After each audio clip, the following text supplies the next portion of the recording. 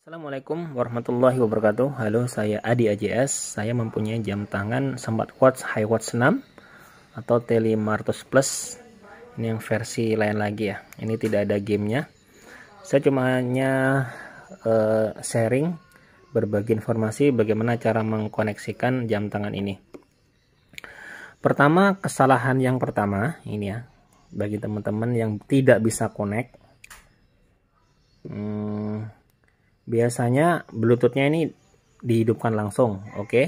udah on kan? Nah kemudian sama teman-teman itu langsung dikoneksikan bluetooth melalui uh, bluetooth langsung ya tidak melalui aplikasi. Nah, seperti ini kita cari dulu bluetoothnya. Ini kadang kesal kesalahan yang sering terjadi ya hmm. Nah, kan muncul tuh T500 ya. Nah, itu dia pasangkan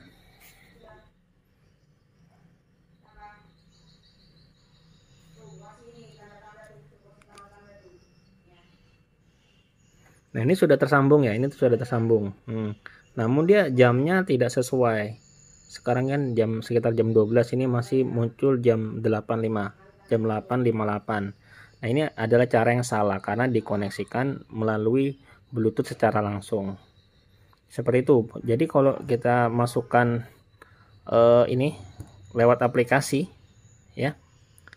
Ini aplikasinya namanya HiWatch ya. Nah, dia dia ini coba dulu muncul atau enggak ya.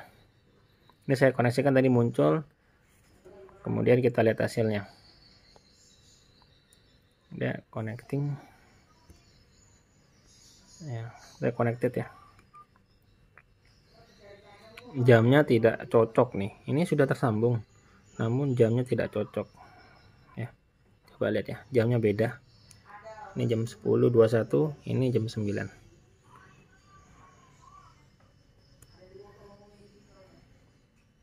karena di sini tidak ada menu sinkronisasi ya. Nah jadi solusinya gimana? Nah ini kita break off dulu. Kemudian masuk ke ini pengaturan bluetooth ini ya.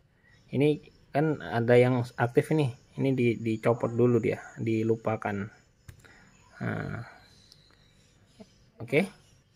Jadi ini kosong ya ini kosong dan ini dan ini tidak tersambung. Oke.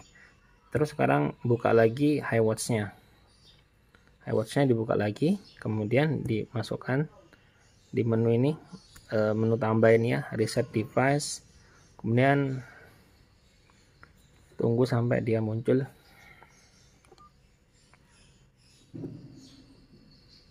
Nah ini muncul ya T500 nih pasangkan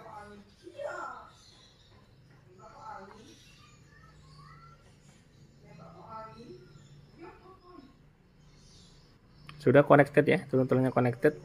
Dan kita lihat jamnya. Nah jamnya sudah cocok nih ya. Jam 10 nih 10 lewat 22 ya. Begitu. Jadi kesalahan pertama teman-teman itu menyambungkan langsung jamnya dengan HP melalui menu Bluetooth bukan dari menu aplikasi.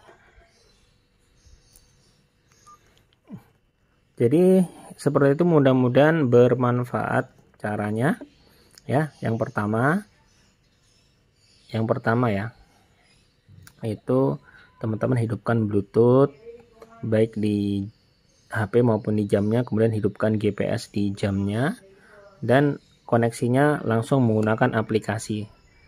Jangan dikoneksikan langsung melalui bluetooth di HP seperti yang tadi. Seperti itu ya. E, semoga bermanfaat Wassalamualaikum warahmatullahi wabarakatuh.